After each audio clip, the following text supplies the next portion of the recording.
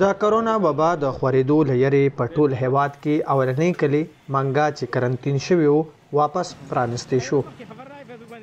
د مردان بازار نه په نور پریوتو اړخ څوارلس کیلومتره آباد دغه کلی د تېرې میاشتې په اتلسمه نېټه هغه مهال په مکمله توګه وتړلی شو چې کله هم په دغه کلي کې یو تن د عمرې ادا کولو وروسته کلي ته راغلی و او د ناروغۍ وروسته یې په وینه کې د کرونا وایرس مثبت نتیجه راغلې وه چې دوه ورځې پس مړ شو.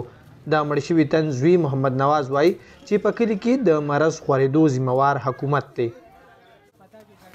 په پېښور اېرپورټ باندې دي کوش و نو د ده سکریننګ چې کوم دی هغه د ګورنمنټ یو ذمه واري وه او ګورنمنټ له پکار و چې دی د اېرپورټ نه اوټ کېده دی په خپله صحیح طریقې سره سکریننګ کړی وی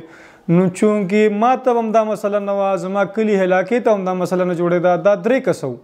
محمد نواز وايي چې د پلار دعا او نور اخري رسمونه یې هم د وایرس د خورېدو د یرې نه دي کړي. ویلي یو ماته که زما فرینډ ریکویسټ کوي که ماته زما یو رشته دار ریکویسټ کوي زه مطلب هغوی ته باقاعده خپل دغه ورکوم چې ورور زما د وجې زما ملک ته زما کلي ته زما علاقې ته یو تکلیف ملاویږي نو زما والد صاحب ته بچي بچي دعا کړې ده زما والد صاحب ته یو کور په کور دعا شوې ده ختمونه ورپسې شوي دي مطلب په جوماتونو کې دعاګانې شوي دي نو تاسو دا دعا که مطلب د کور نه ماتو کا نو ډېره بهتره به یو زه د خپل کلی انتهایی مشکور یم ځای خلک وایي چې باید د کلی اولس دې د کرونا وایرس نه د بچ کېدو ماسکونه اچوي او بغیر ضرورت دې د کوره نه وځي چې کوم سخت لاک ډاون چې وو واقعي ډېر لکه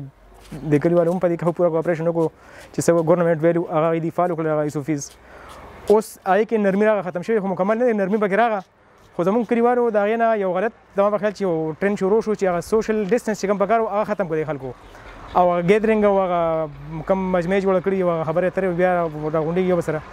هغه شی لږ پکار ځکه چې دا چیز مکمل طور خو ختم شوی نه دا کوم وبا چې دا د کرونا وایرس په شکل کې دا خو لا مکمل ختم شوی نه ده په منګا کې د مړ شوي تن دوه ملګري او د کور درې کسانو بشمول څلوېښت کسان په کرونا وایرس کې اخته شوي وو چې وروسته یې حکومت دغه کلي او خوشان نور کلي په مکمله توګه تړلي وو. عظمت علي شاه، مشال رېډیو، مردان.